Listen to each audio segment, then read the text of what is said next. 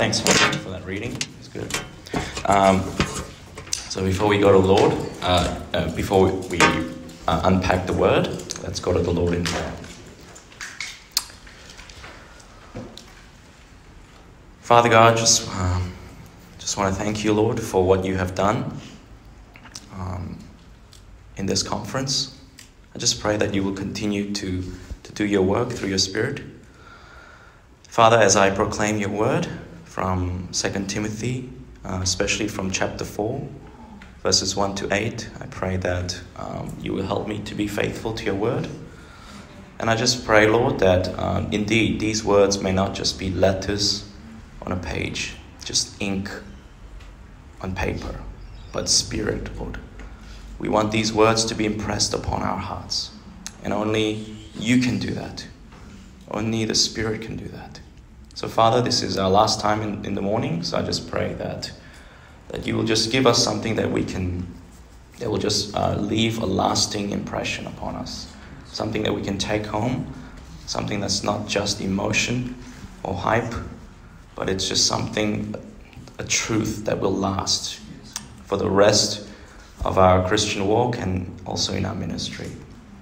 So, Father, I pray that you will be gracious to us. Jesus' name we pray.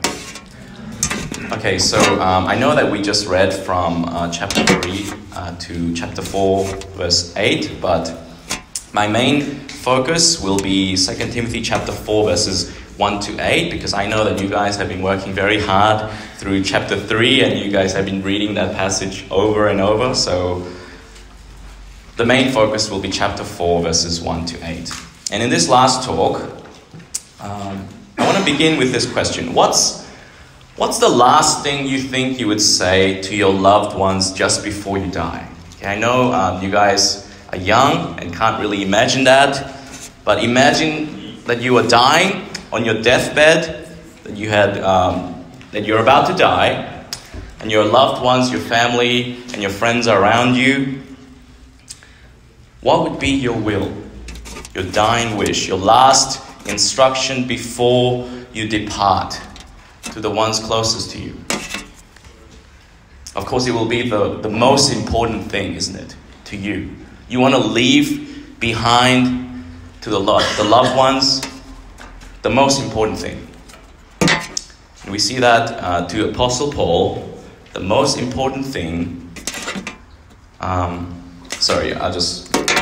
Um, yeah, so in 2 Timothy chapter 4, we see that the Apostle Paul is about to die. We see that in verse 6. It says, For I am already being poured out like a drink offering, and the time for my departure is near. Okay, so um, as I mentioned in the first talk, it seems that Paul is waiting for a death sentence to be pronounced against him at any moment. Okay, he's in prison. Okay, he, he doesn't know what's going to happen, uh, but he, he, he knows that, that death is near. Things are not looking well. Okay, so, so Paul is writing this letter as kind of his will, his, his testament to his protege slash disciple Timothy.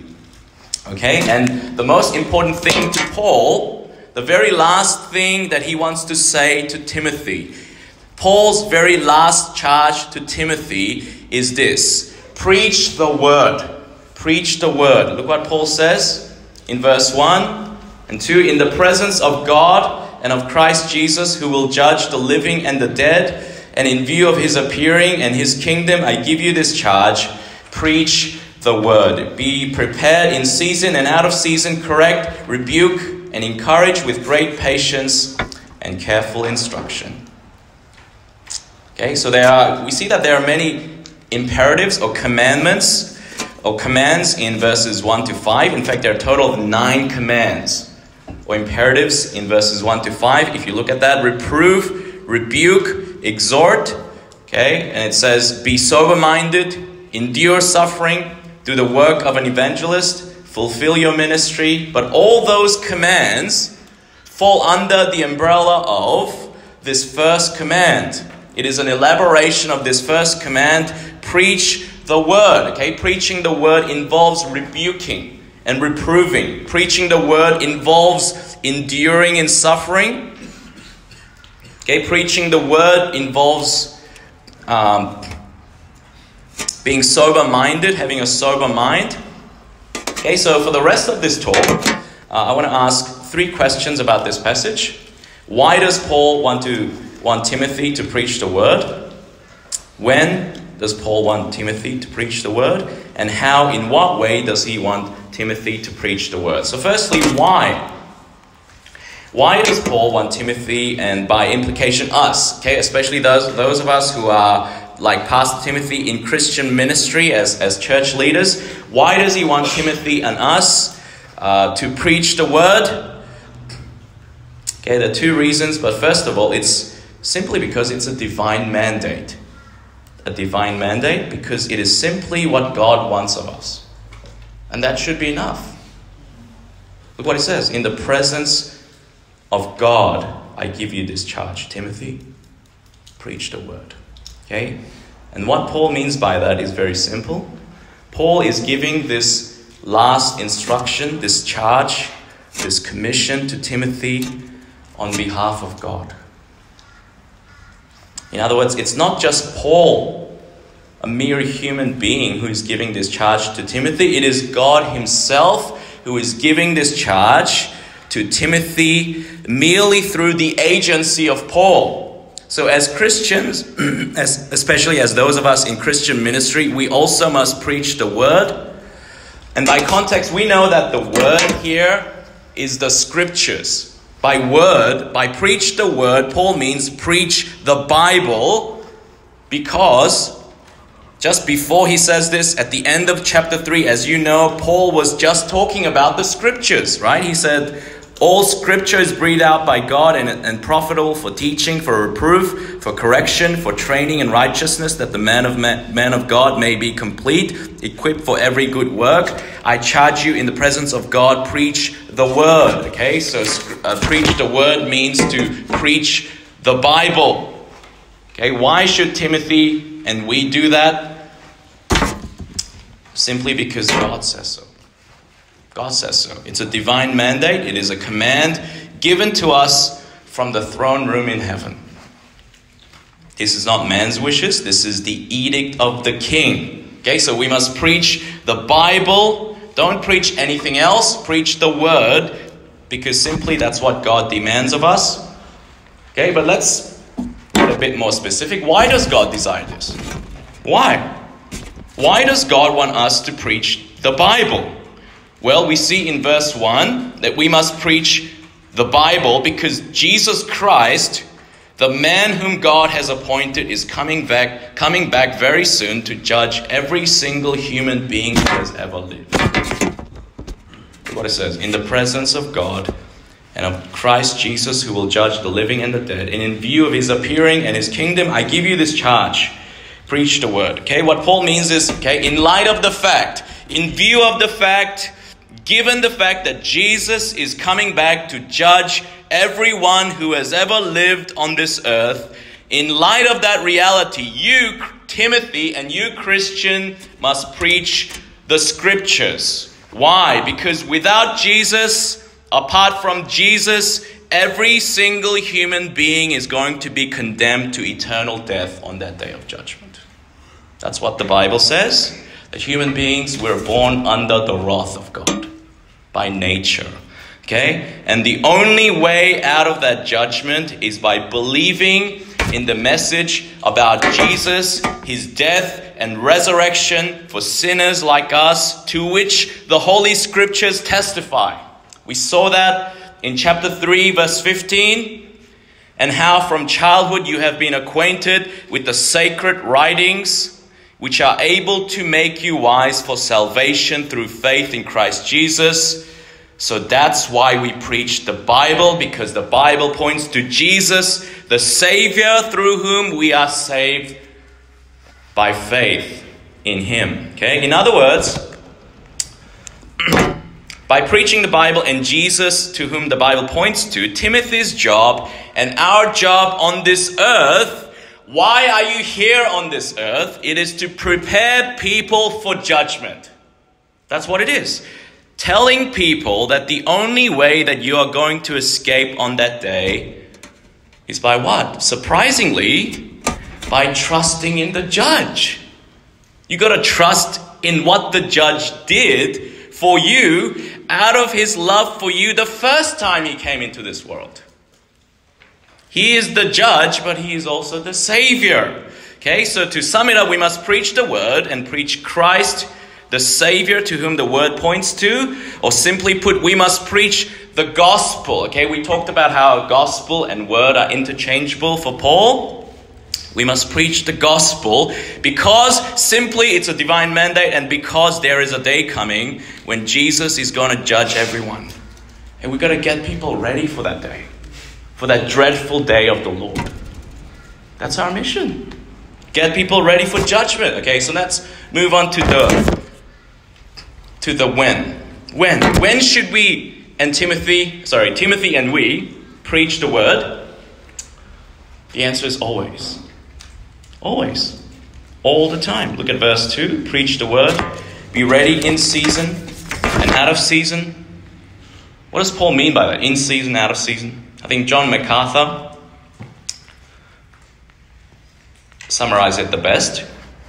He said, um, The faithful preacher must proclaim the word slash gospel when it is popular and or convenient and when it is not when it seems suitable to do so and when it seems not suitable the dictates of popular culture tradition reputation acceptance or esteem in the community or in the church must never alter the true preacher's commitment to proclaim God's word or the gospel.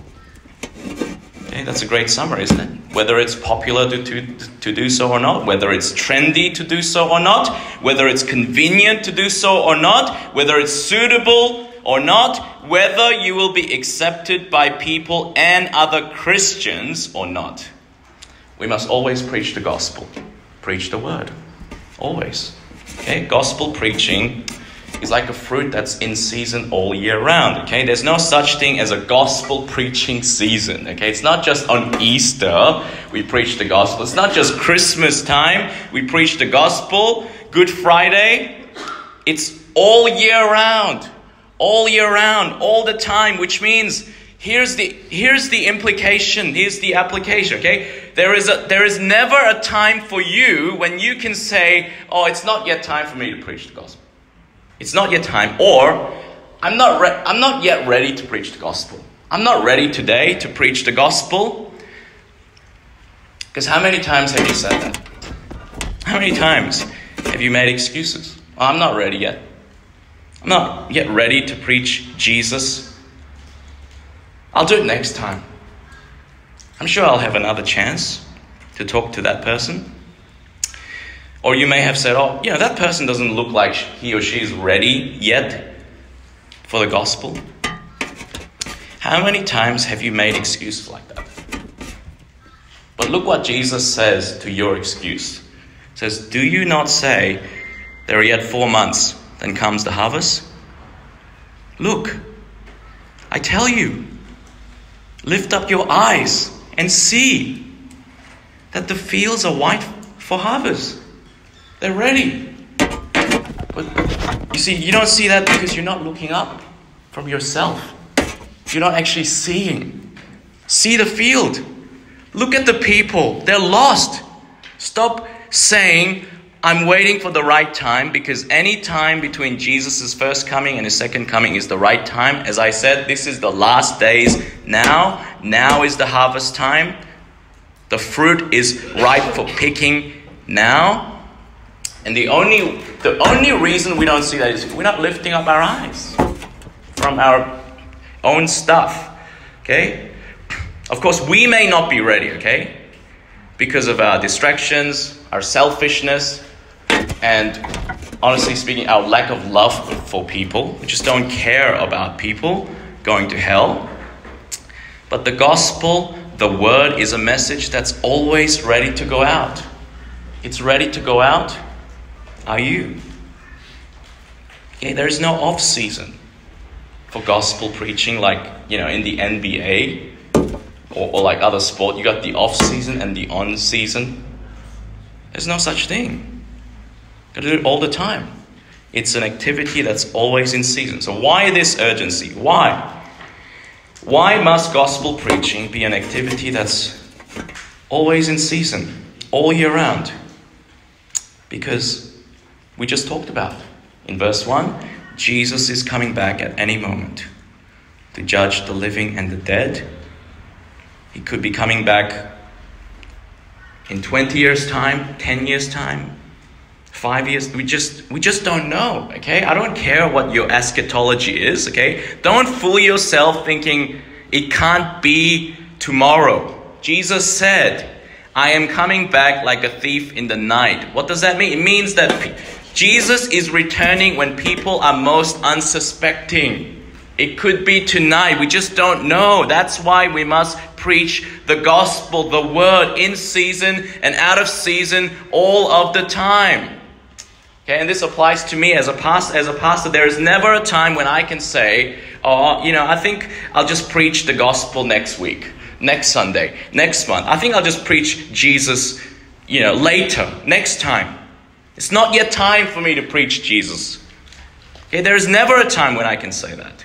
Every single Sunday, I am commanded by God Himself to preach the gospel, Jesus, to the sheep that He has placed under my care.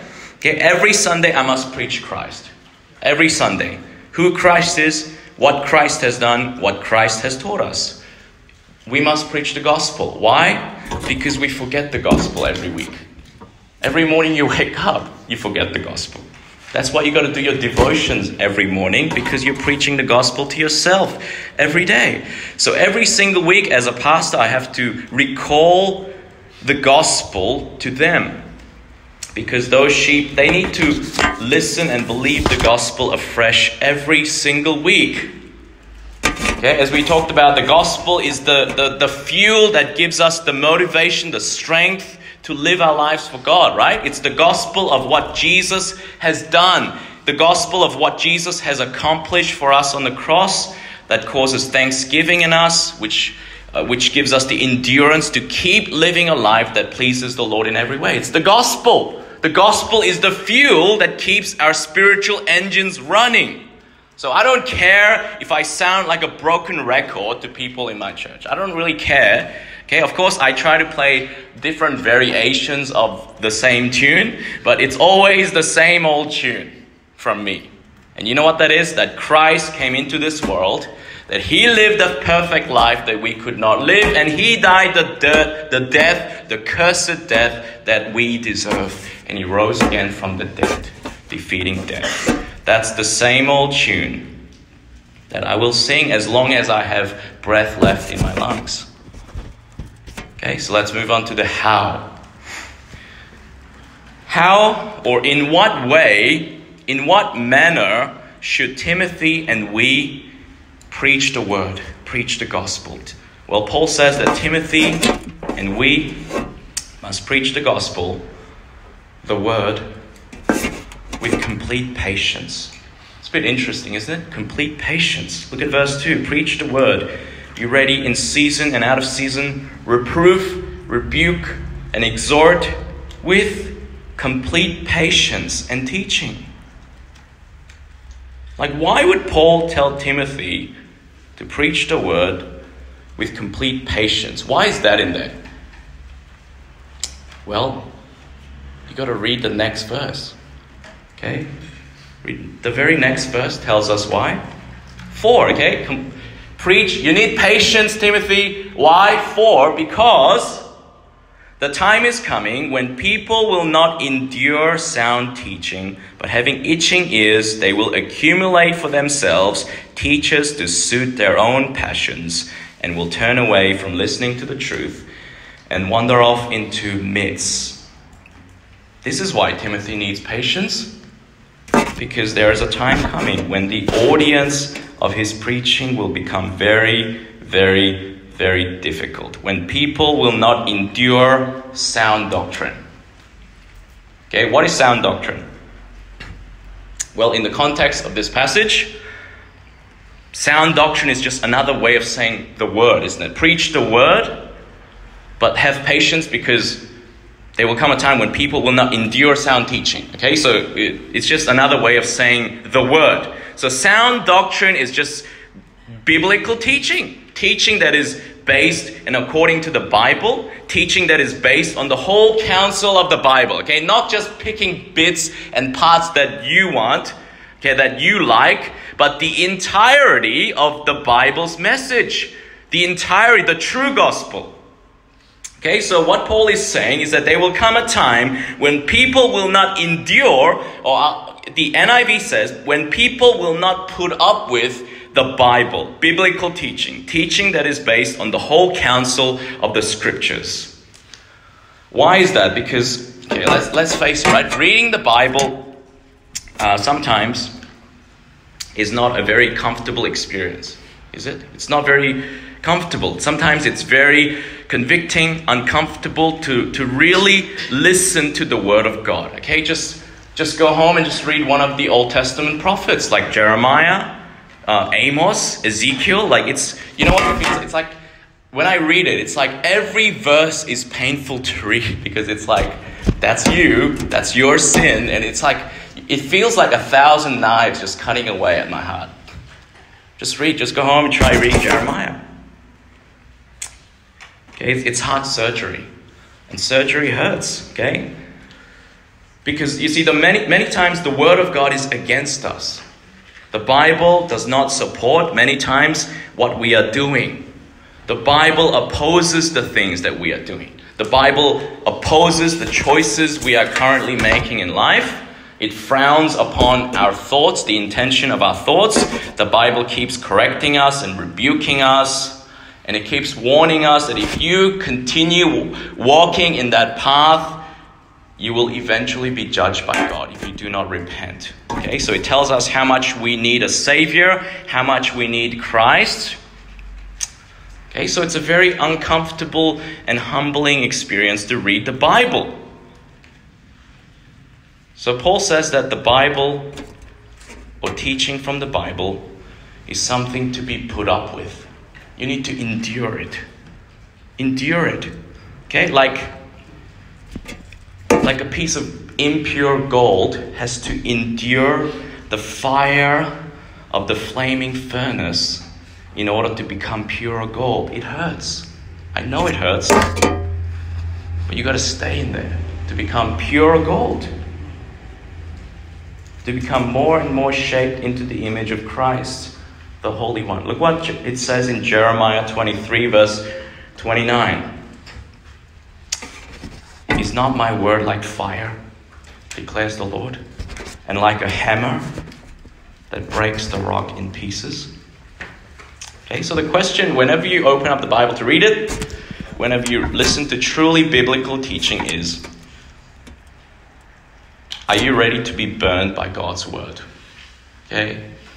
Are you ready, ready to be roasted by God's word? Are you ready to be smashed by the hammer that God's word is? Are you ready for the hammer of God's word to break your heart and your sin and your selfishness into a thousand pieces? Are you ready? That's the attitude with which we got to read the Bible. Get ready to be burned. Get ready to be smashed into a thousand pieces. Well, if you say, well, you know, I'm not ready for that. I don't want to be burned by God's word. I don't want to be smashed into a thousand pieces. Or if you say, well, you know, sometimes if I'm really honest with myself, I just can't stand God's word.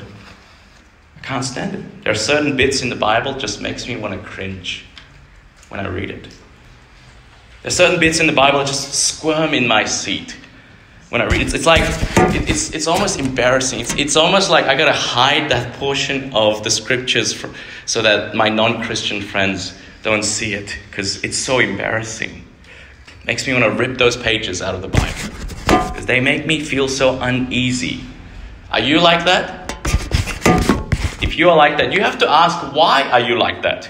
Why am I like this?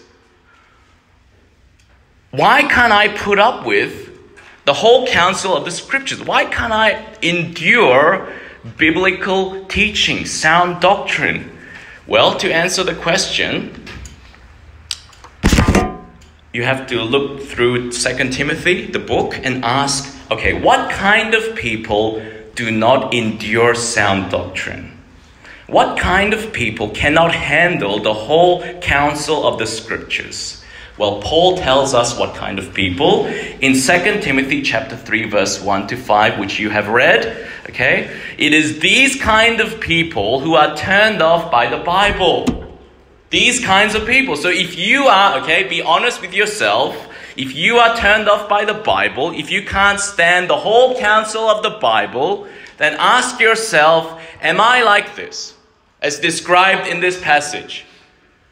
Look what it says. But understand this that in the last, last days there will come times of difficulty, for people will be lovers of self lovers of money, proud, arrogant, abusive, disobedient to their parents, ungrateful, unholy, heartless, unappeasable, slanderous, without self control, brutal, not loving good, treacherous, reckless, swollen with conceit, that is pride, lovers of pleasure rather than lovers of God, having the appearance of godliness, but denying its power, avoid such people. Is that you? Does that describe you? You see, this passage is very interesting because it's a sandwich. Do you see the sandwich? Inclusio, they call it. You see, in the middle section is the meat that is sandwiched by two breads, two kinds of loves. You see that? Verse 2, the first bread says, People will be lovers of self, self lovers. And then in verse 4, the other bread, piece of bread, says, rather than lovers of God. So that means this whole passage is a description of people who love themselves more than they love God. In other words, it is a description of people who worship themselves as God instead of God. Self worshipping self lovers. Look at it. Why, people, why do people love money? Because money buys you stuff for yourself, right? Why are you arrogant and prideful? Because you love yourself more than God.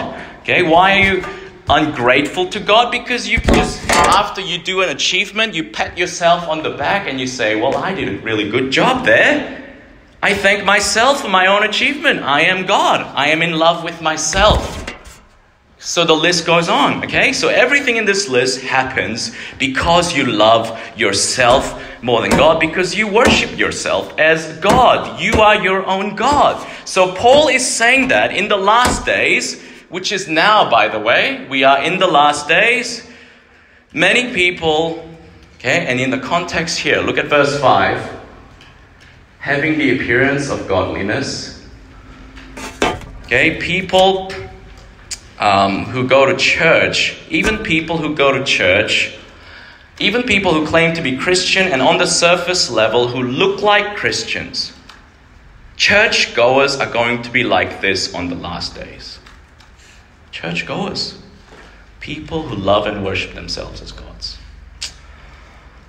Okay, so link this with chapter 4, verses 3 4. This is what Paul is saying.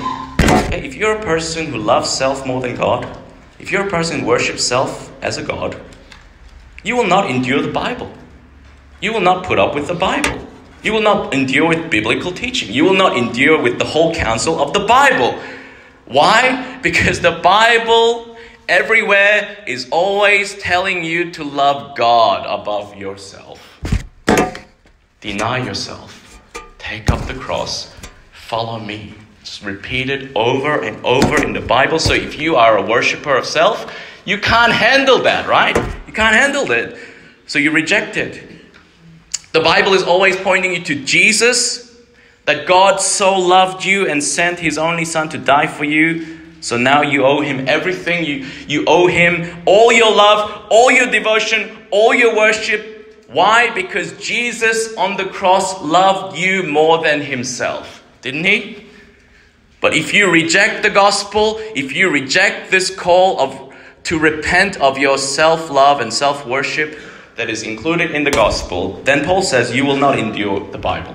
You will hate the Bible, you will be put off by the Bible, you will squirm every time you read the Bible. Okay? And then eventually you will walk away from the Bible to something else. He says, time is coming when people will not endure sound teaching, but having itching ears, they will accumulate, accumulate for themselves teachers to suit their own passions and will turn away from listening to the truth and wander off into myths. Okay, what Paul means here is that these self worshipping, self idolaters, these self lovers will accumulate for themselves teachers that tell them, hey, it's okay. It's okay to love self more than God. It's okay to love money more than God. It's okay to love pleasure more than God. Why do these self worshipping self lovers do this? Why do they accumulate these teachers? Why? Because they need to suppress their own conscience. They got to suppress the truth because their conscience is screaming at them that they have to love God above everything. So, so they got to suppress it. How do they do that? They gather people who will lie to them to their ears. Okay, people who tell them, hey, there's nothing wrong with you. You don't need to change anything about yourself, that God actually wants you to love yourself and money and pleasure more than anything, that, hey, God actually exists to give you those very things money and pleasure and self esteem, self love. Okay? And the more teachers you have that tell you these things, the better. Okay? You need lots of voices. Why? Because your conscience is screaming from the inside, so you've got to suppress it. So you need more and more and more voices, okay, to kind of become your headphones. Okay, you remember when you were a child, okay, your, your parents were nagging you, okay, and telling you to do something that you knew in your conscience was the right thing to do, but you didn't want to listen to it. What, what did you do? You went to your room and you shut the doors and you put on the earphones and you put the volume up louder and louder and louder so that you can't hear your parents anymore. Okay? Those earphones are like the false teachers to shut out the voice of God, to shut out the screaming voice of the conscience from the inside. Okay, so what do these false teachers teach? Of course, they don't teach the Bible, they don't preach Jesus, I mean, sure, okay, they quote the Bible, okay? Why? Because they got to sound Christian, you see? They got to sound Christian, so they give, they quote a, a few Bible verses here and there that are not like out of context, unrelated. Okay, they give lip service to Jesus. Okay, they sprinkle a few mentions of Jesus here and there, kind of like salt and seasoning. But Jesus is not the main meal of their teaching. Okay, he, he's not the, the bacon and the eggs of their teaching, okay? He, you know, Jesus is just like a little salad on the side, a little optional extra. Doesn't really matter if he's in there or not. He's not really at the, the heart of their teaching. That's how they treat Jesus in their teachings. So, what do they, these false teachers, serve up as the main meal? What is the main meal they serve up? Paul says myths. Okay, when we talked about myths many times in this conference, but you see, another thing I want to talk about myths is that they're essentially stories designed to entertain people. Because they're stories, entertainment. That's what they give people. So people turn away from listening to the truth, they turn to teachings that try to sound Christian by sprinkling Jesus here and there but are nothing less than actually they're just entertaining tales designed to tickle your ears. Okay? Um, one time I was talking with my friend who told me about these two pastors they have at their church. Okay, one pastor, the older pastor, is, you know, the very studious type. Apparently, when he preaches, this pastor, the older pastor, goes verse by verse by verse I've been there to, to that church, so I know how the, the pastor preaches. You know, he's a bit dry, and he just, he just, you know, he's the kind of pastor that sticks to the text. That's what you get away after you listening. You're like, okay, he, he really sticks to the test. But then in his church, there's another pastor. He's a younger pastor. Now, this guy, um, apparently, he's a really funny guy. Okay, he tells a lot of jokes on stage. Okay, everyone just like laughing and laughing and laughing throughout the sermon. You know, it's like watching a stand up comedian for 40 minutes. Okay, he's dynamic, he's jumping up and down, he's going to and fro. Okay, the aisles, I know because I, have been there, and that's, you know, he's, he's moving. Now, take a guess. Which one is more popular, do you think? Which one of the two pastors does this church love more? Of course, they love the stand up comedian. They love that guy. Whenever the older pastor preaches, they think it's, they say it's boring and dry. But when the, the, the, the second pastor preaches, everyone thinks that it's like the best thing ever. That's what they say. It's like the best thing ever. And my friend would get frustrated. They say, How can people be like this? How can they just love jokes and humor for 40 minutes, being entertained while thinking that having the Bible explained to them is boring? Okay? I think it just reveals what's wrong with our churches today. Okay? We just want entertainment. Okay? We're just so driven by our culture that worships entertainment as supreme. The Netflix culture, right? We just come to church with the same mindset. I am here to be entertained. Okay? We don't really care about the word itself. I mean, just think about how at the end of each sermon, the only thing we usually remember about the sermon is just some little funny story that the pastor told pre- told, right? Some little side tale the preacher told that doesn't really have anything to do with the text. Why is it like that? Well, you could say, well, that's just the way we human beings are wired. We, we love stories, we respond to stories, and I get that. I understand that. I'm not saying we shouldn't use stories in sermons, but I think sometimes it's simply because we're just not paying attention to the preacher when he is explaining the Bible, the text itself. Okay, we, we just switch off during the actual exposition, the explanation of the word, but, but the only time we switch on is when the guy just t- tells some, some silly joke that doesn't actually have to do with the text itself. Okay? It's because we come to church with this attitude. I'm just here to be entertained. Okay, the preacher is just a comic, a stand up comic who just stands there, who, who exists, who, who is hired by the church to thrill me for the next half hour. Okay, because that's how we've been discipled by our culture, isn't it? We've been conditioned by our self loving, pleasure loving culture that that's the attitude with which we come to church to worship.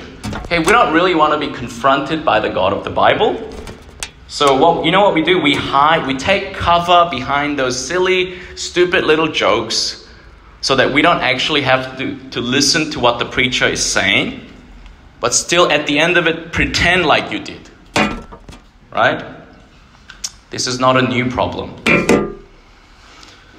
coming to church just to be entertained. This has been going on for centuries.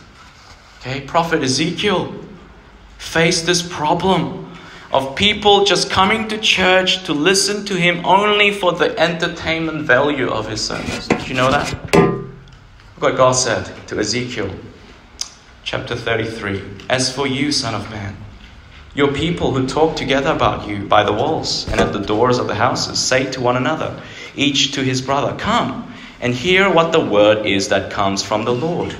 And they come to you as people come, and they sit before you as my people, and they hear what you say, but they will not do it. For with lustful talk in their mouths they act. Their heart is set on their gain. So there's no transformation. And behold, you are like to them one who sings lustful songs with a beautiful, beautiful voice and plays well on an instrument. It's just entertainment. Okay? For they hear what you say, but they will not do it. Also, look what God said to the Israelites in Isaiah chapter 30. And now go, write it before them on a tablet and inscribe it in a book, that it may be for the time to come as a witness forever. For they are rebellious people, lying children, children unwilling to hear the instruction of the Lord who say to seers, Do not see, and to the prophets, Do not prophesy to us what is right. Speak to us smooth things. I can't stand the rough things of the Bible. Speak to us smooth things. I don't like those edgy bits. The Bible, cut them out, round the corners. Prophesy illusions. Give us myths. Leave the way. Turn aside from the path. Let us hear no more about the Holy One of Israel. I don't want to hear anything about God. So you preach just select texts that that just tell me about how much God loves me. The soft bits. Okay? But I don't really want to be confronted by the God of the Bible.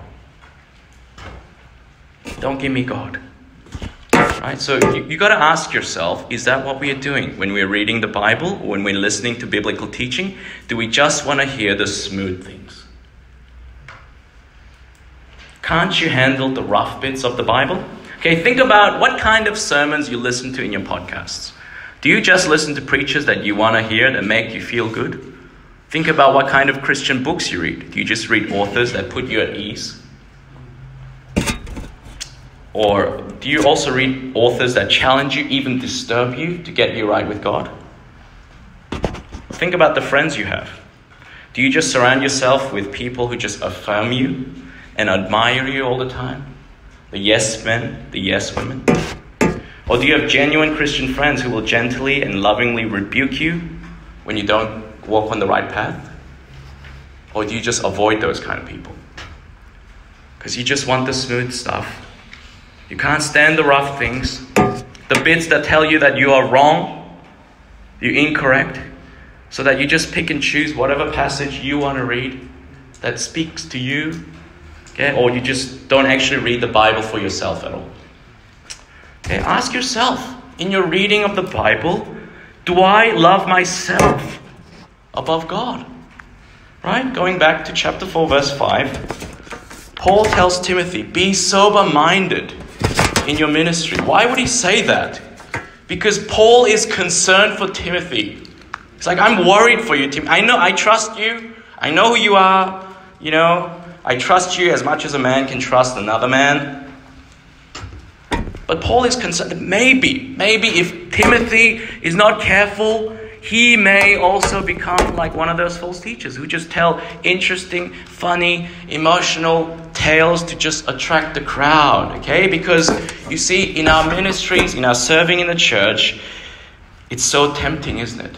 It's so tempting to avoid preaching the whole counsel of the Bible, to avoid preaching Christ alone and Him crucified. Why? Because not many people listen to you. All right? Why? Because that's exactly what Jesus said would happen. He, he said that if you preach Christ alone, preach the truth, you will be rejected. Okay, and when that happens, or people don't listen to you, it's very discouraging. So you know what? You know what happens? It's, it's you become tempted to tweak the gospel. Let's tweak it a little bit. Tweak the content of our preaching and just tell people nice little funny jokes to entertain the crowd, to give them what the flesh wants. Give them what their evil hearts want. You see, that's how you grow your church in numbers. If, you, if that's all you care about in your fellowships or your church, I'll tell you how you grow your church or your fellowship in numbers. Okay, this is how you do it. Tell people how awesome they are. Just tell them you're awesome. You're awesome. Nothing wrong with you.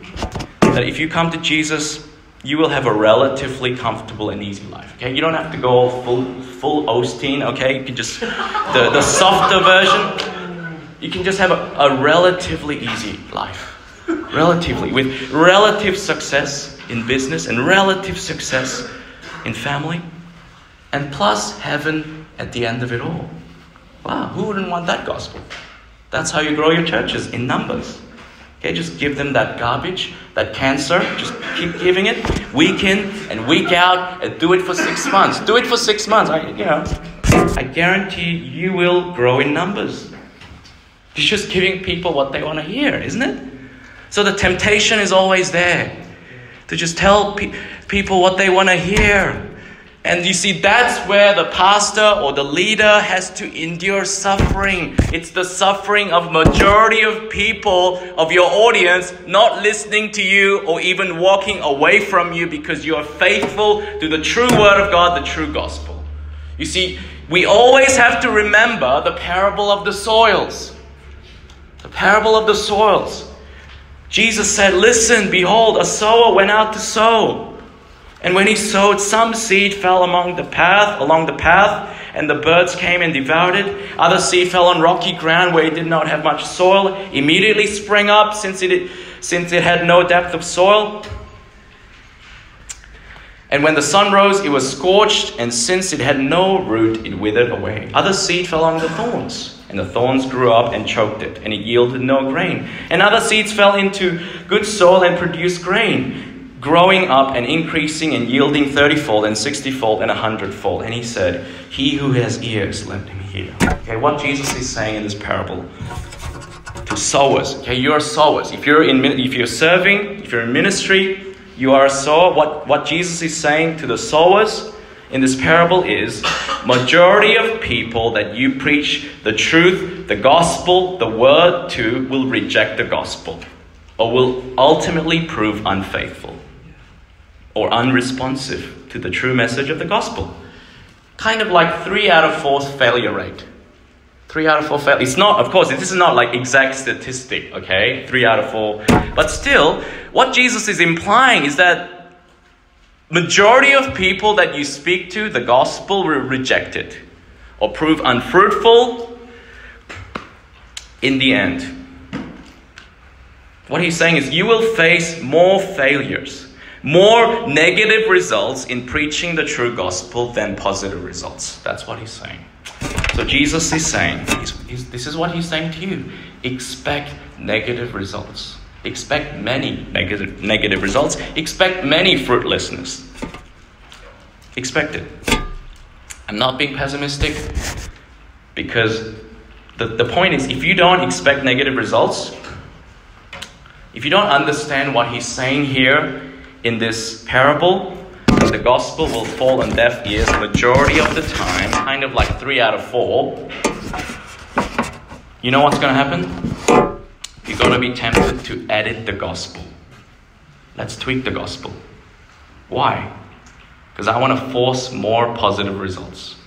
I'm going to water down the message to draw the crowd. I want to get more positive resu- results. And so Jesus is implying to us here don't you do that. Don't do that. Leave the seed alone. Leave the seed alone, okay? Don't crush the seed and throw it. Don't don't tweak it. Leave the message alone. Okay, I was talking to my wife, and my wife was saying, you know, it's very easy to grow tomatoes. You know what you do? You eat the tomato, get the seed, you wash it, just throw it out. That's what you have to do. And it just grows by itself.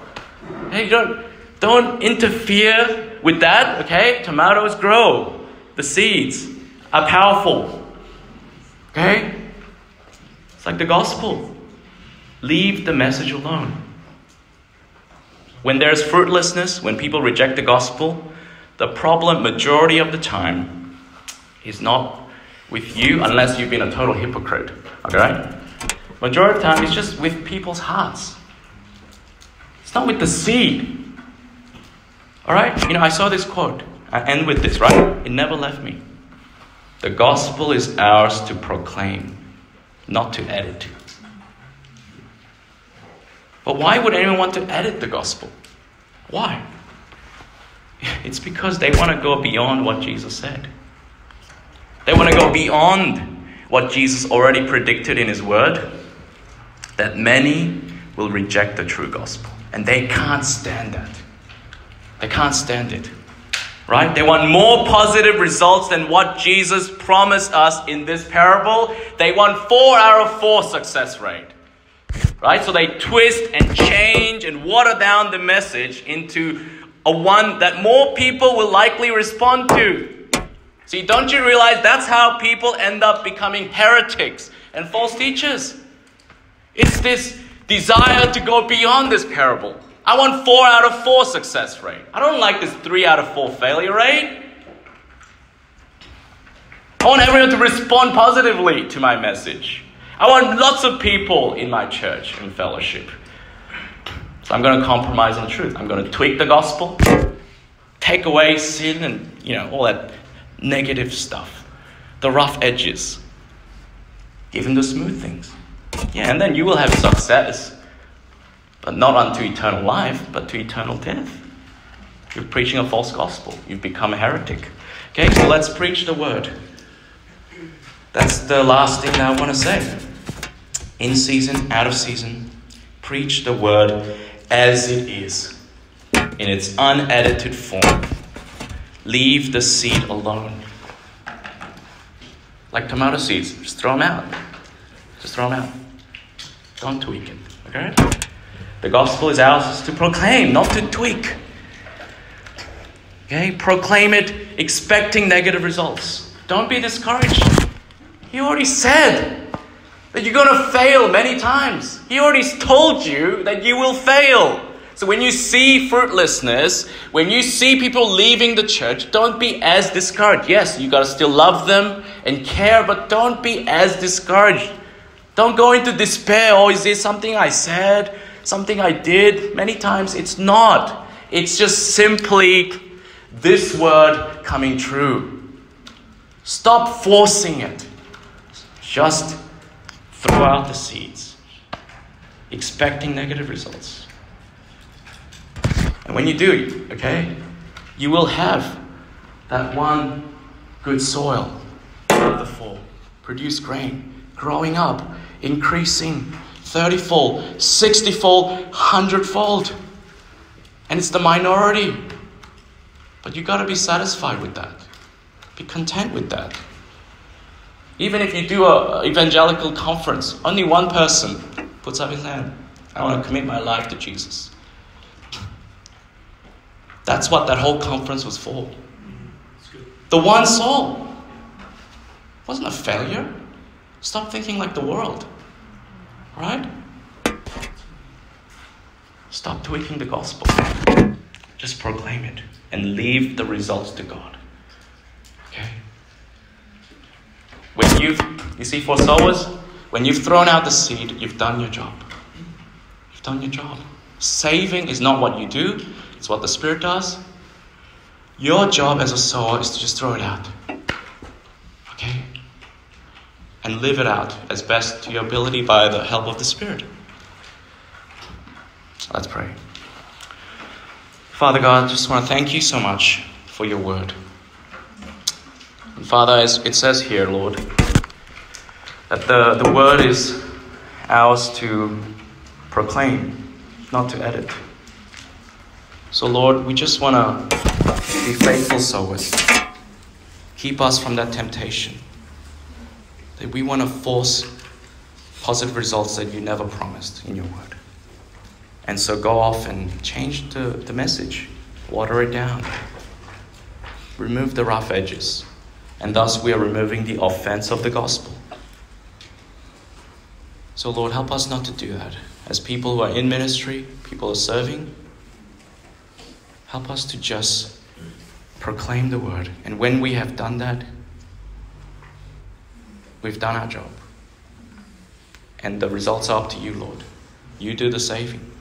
You do the work of changing hearts. That's not our area. It's not my our department.